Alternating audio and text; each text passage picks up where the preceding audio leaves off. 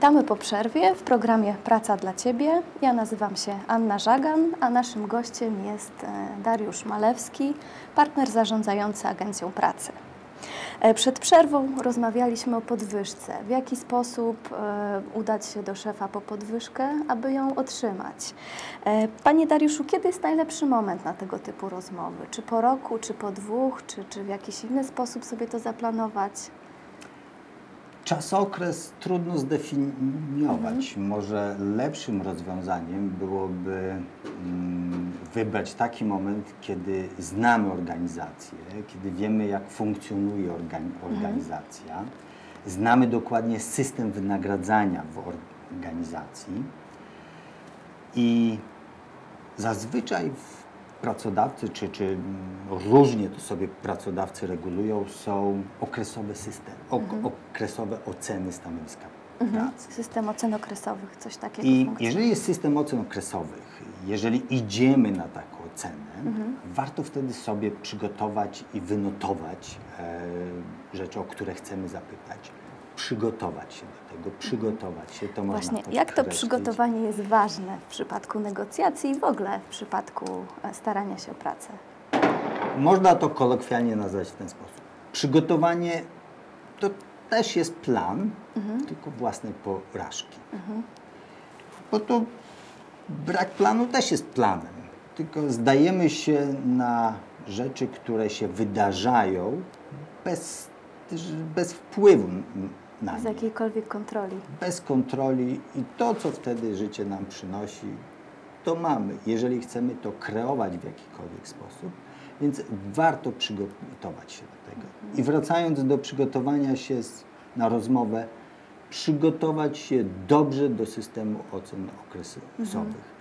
Wynotować sob, sobie rzeczy, o które spytać chcemy pracodawcę i zapytać mego szefa, co musiałoby być spełnione, aby podwyżka czy, czy dodatkowe gratyfikacje, które, bo możemy otrzymać podwyżkę nie wprost, możemy otrzymać w postaci innych dodatkowych rzeczy, które, czy, czy, czy, czy wartości, które są dla nas, stanowią one wartość, czy może być to inny czas pracy, czy może być to y, dofinansowanie jakiegoś projektu, tak, czy jest wiele innych rzeczy, które możemy otrzymać, za które musielibyśmy zapłacić, a pracodawca może nam je dać. Dać. Mhm.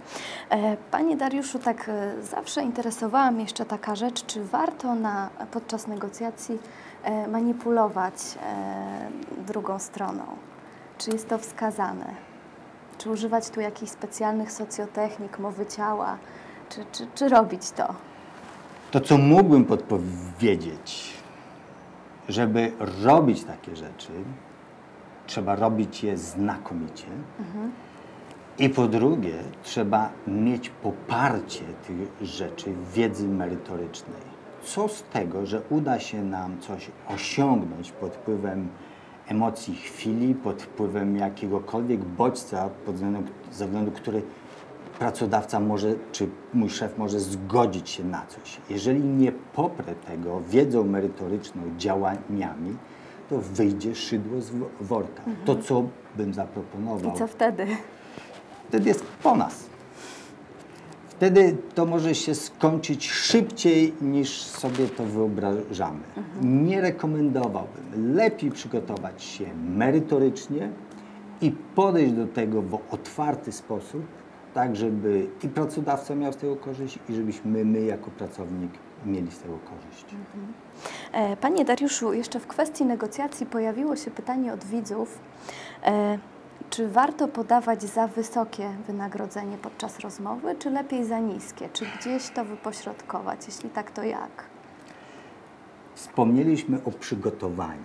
Jeżeli aplikujemy na określone stanowiska, warto wiedzieć, jak płatne jest to stanowisko na rynku i czy my dajemy jakąś wartość dodaną jeszcze do tego stanowiska. Mamy unikatową wiedzę lub doświadczenie w danej bra- branży lub, lub coś, co rzeczywiście jest wartością dla tego pracodawcy.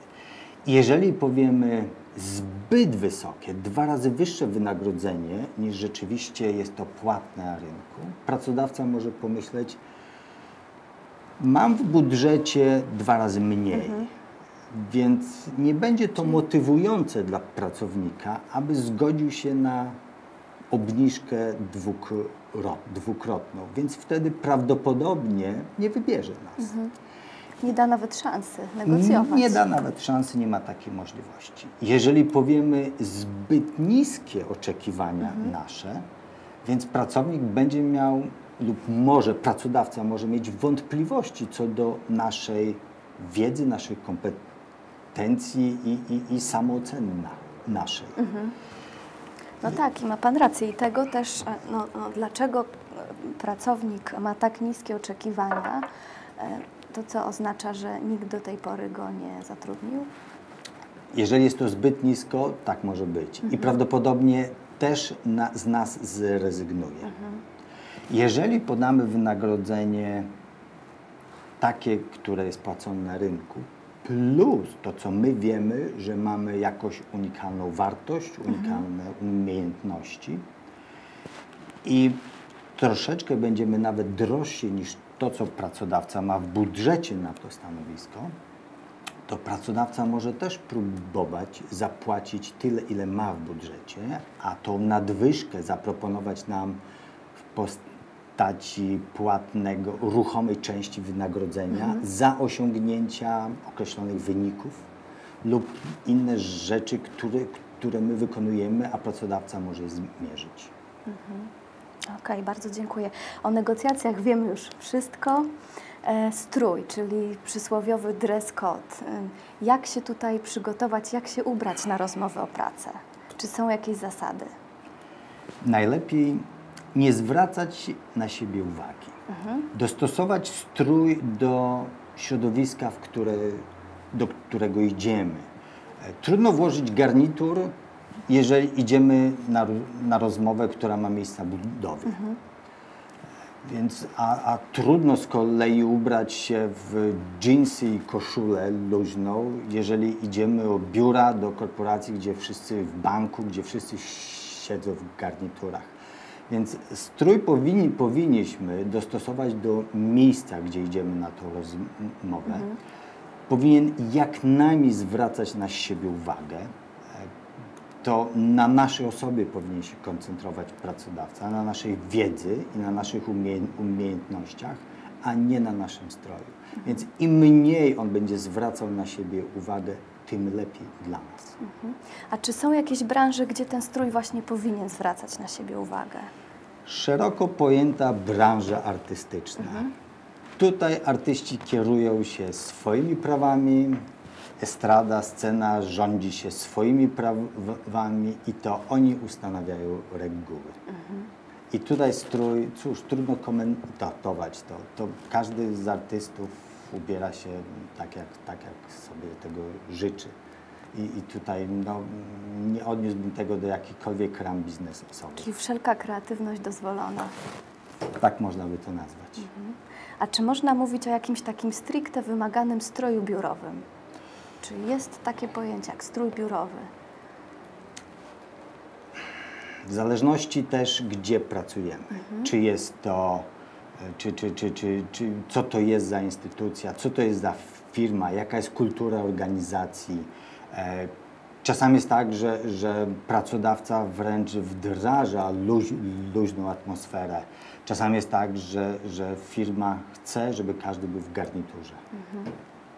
E, Bardzo dziękuję. Nasz czas niestety już się kończy.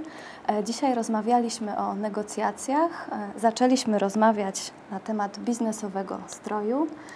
Naszym gościem był pan Dariusz Malewski, partner zarządzający Dziękuję. Agencją Pracy.